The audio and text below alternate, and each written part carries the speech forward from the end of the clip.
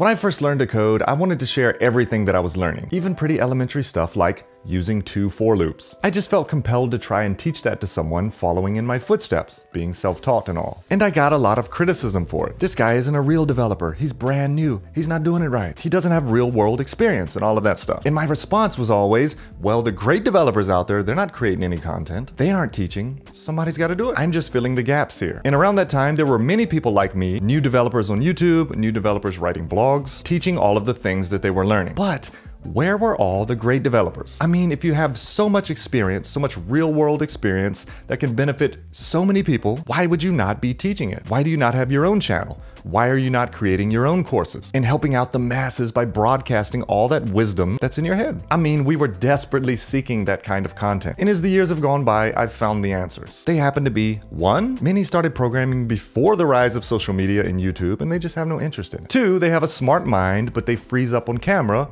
or they can't communicate well. But I think there's a bigger reason, one that I want to talk about in this video. And before we get to that, I have to give a quick shout out to today's sponsor, Brilliant. Brilliant.org is a great way to learn math, logic, and computer science interactively. Brilliant is fun, practical, and has thousands of lessons from basic to advanced topics from computer science and programming, algorithms, Python, AI, logic, and other tools to help you level up your skills or keep those skills sharp. And it's built for busy people like me and you. Like I said, you can master big concepts in as little as 15 minutes a day. Maybe you want to dive deeper into large language models, neural networks, big data, or just learning the basics of Python, building programs on day one with a built-in drag and drop editor. Today I continued on with algorithms and data structures and spent 10 minutes learning about big O notation and how it describes the complexity of code using algebraic terms. And like I said, Brilliant can help you solidify those AI and coding skills and concepts that apply across different fields. And you can get started today for free for 30 days by using the link below, and the first 200 to sign up using the link will get 20% off an annual subscription. That link is brilliant.org slash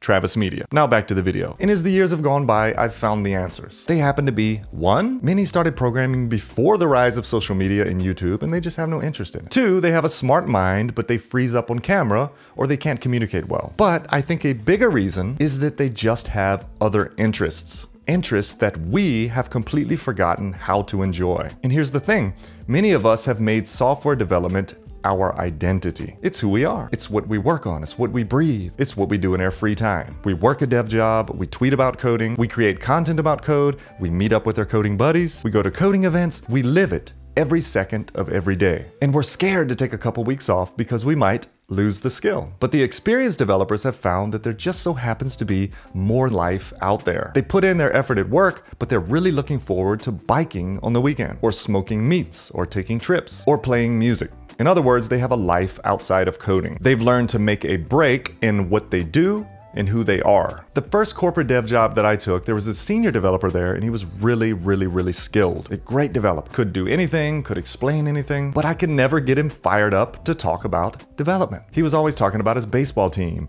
and the games that he was going to and the hobbies that he was into and the trips that he had planned. And I'm all like, what do you think about ES6 and all that stuff? And he would be like, I don't know, I've never even heard of it. And since then, I've contrasted myself, a person who could code all day and talk about it all night, to the senior devs and tech leads and managers that I've worked with that could cut off coding completely when needed to pursue other interests in their evenings and weekends and days off. They would be at kids' baseball games, or they'd be excited about a new entertainment system install, or powerlifting, or reading history books. In fact, there was a point in time where people had nothing else to talk to me about. They would see me and they would start this small talk on how's your coding going? Or people that code could only talk to me about the latest coding technology. There was no other life outside of that. I either had much to say about coding or little to say about anything else. In these days, I try not to talk to people outside of work about coding. But what's the point in me saying all of this? Am I gonna stop doing this? Of course not. I love this stuff. But again, there's a lesson to be learned here. There's a reason these developers can do this job for 30 to 40 years while you're getting burned out at 5. By way of analogy, when you work out and you follow some particular routine, there's usually every 6 weeks or so a week that you take off. It's called deloading. And that gives your body a chance to rest to recover from weeks of heavy lifting. But you know what? When you come back that week after to resume that routine, you find pull-ups easier and your body more performant because you've given it proper rest. Likewise, if we take two weeks off of programming, we don't forget it. In fact, we come back with a much clearer head and a greater passion for it. And we know that's true because taking a 20 minute walk around lunchtime usually helps you solve the conundrum that you were stuck on that morning. So, I have three suggestions for you today. Number one, what is something that you loved to do previously but have since stopped doing? Maybe you used to take your Trek mountain bike and hit the single track every weekend or on random evenings. Then you had kids and you sold it. Sounds like my story. But now you actually have time for it if you stop coding for a bit and get back into it. Think about those things that you used to do, things that excited you, and rekindle that again. Number two,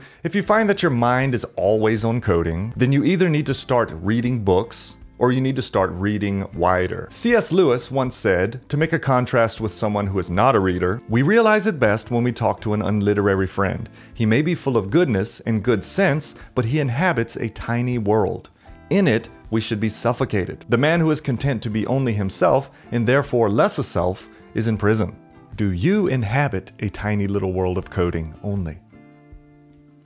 We actually just started this new book in the Imposter Devs community called The Joy of X, a guided tour of math from 1 to infinity, to try and rekindle that love for math. And not necessarily for programming, but just in general, as many of us haven't considered these concepts since high school. And number three, to become an even better programmer, you need time off. You need time away from it on a regular basis. If you work for a company, then you should be maxing out your PTO. And if you have unlimited PTO, then just quit going to work. Just kidding. That time off will, as strange as it sounds, make you a much better programmer and a more fun person to talk to overall. If you found this video helpful, give it a thumbs up. If you haven't subscribed to the channel, consider doing so, and I'll see you in the next video.